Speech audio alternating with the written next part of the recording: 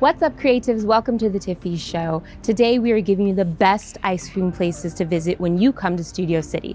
If you haven't, make sure you turn on notifications so that you know when I post a video. We're in Studio City, which is a suburb of Los Angeles. This cute neighborhood has everything that you need, from restaurants to bars. And if you haven't seen my bars video, you should go down to the link below because I did cover all the top bars to visit when you come as well. But today, we're doing ice cream. So let's get to it. The best ice cream places in Studio City. Roll them!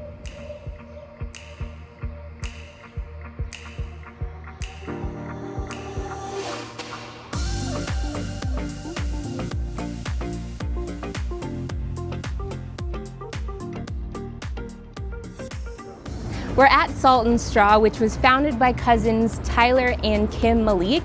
And it started out as a cart that they had in Portland, Oregon, and it blossomed into a brick and mortar store. And now they have scoop shops all around the US. And we are here at the one in Studio City. Now, what's awesome about Salt and Straw is it's artisanal small batch ice cream, and they roll out new flavors monthly. And you can always find crazy and weird concoctions. And when I say unique flavors, I mean unique flavors. For example, in October for Halloween, they have flavors that include blood pudding, crickets, mealworms.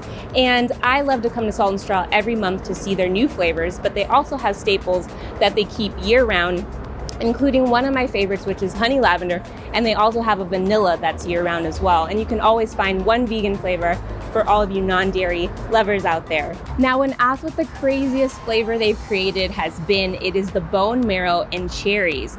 And their most popular flavor, if you're wondering if you wanna come down here and maybe not get something that's so crazy or so unique, they have the sea salt and caramel ribbons. That is what they're known for, and that's pretty much always on the menu, so you should definitely try that. Co-founder Tyler and head ice cream maker has created over 500 flavors, and he says he has no plans on stopping anytime soon and we hope he doesn't for the sake of myself because I love Salt and Straw's ice cream. If you don't feel like standing in the line, which you're going to find lines are the most popular places to get ice cream here, then a good tip is to go and buy a pint. Yes, you are going to be taking a chance and you can't sample all the flavors, but it's ice cream, so you're not going to be losing and you can get a pint or two, and that is a good way to skip the line and get your ice cream a lot faster.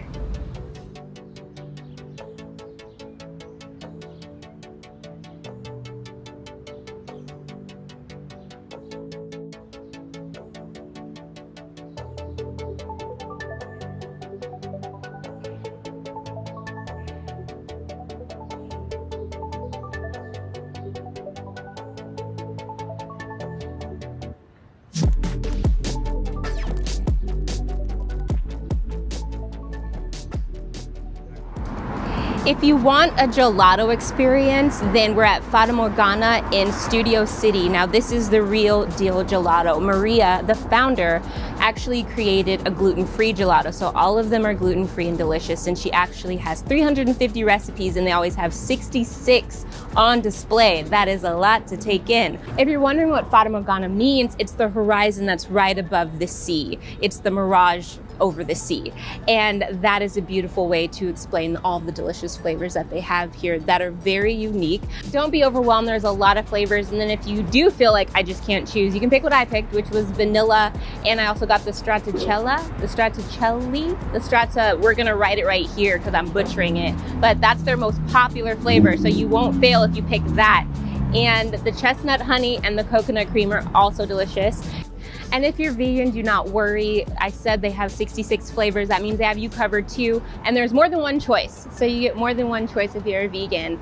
And just come here and enjoy it. And if you just want to spend a whole day sampling, they're very patient and they got you. So come and enjoy some gelato.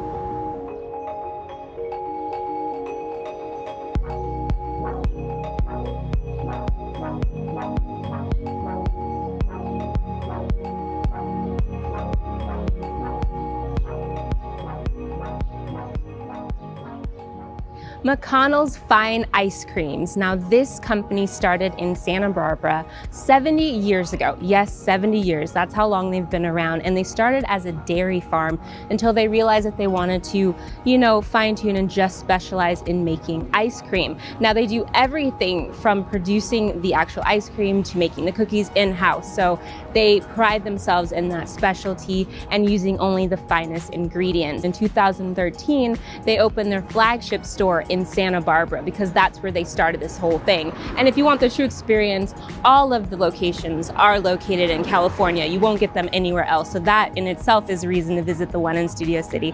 They have seasonal flavors and they pride themselves in keeping the simplicity so that you taste what the main flavor is. I got churro con leche, which was delicious. I love churros.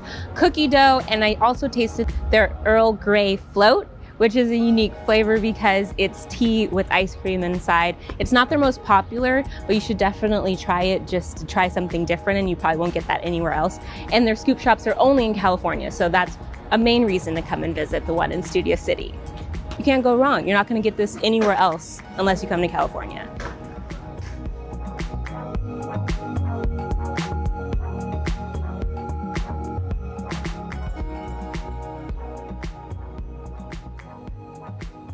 I'm at Drip and Roll, which is a hidden spot in Studio City. As you can see, it's kind of in a strip mall, and it's a family-owned business that does organic rolled ice cream. So they put it out on a slab basically and roll it in front of you, and it's delicious.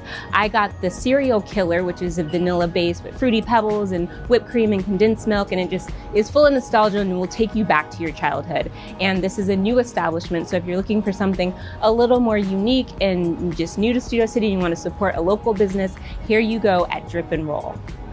That's it. That's all of the ice cream that our bellies can handle. I mean, did you see how much ice cream we had? I can't even pick a favorite. If you enjoyed this video, make sure that you share, like, subscribe, and comment. Comment below. Let me know which neighborhood in Southern California you would like me to visit for future videos, and I will see you next time. Stay creative. If you don't feel like standing in line, which there might be a line, these are popular places in Los Angeles, then you can. That's dope though. I can't even.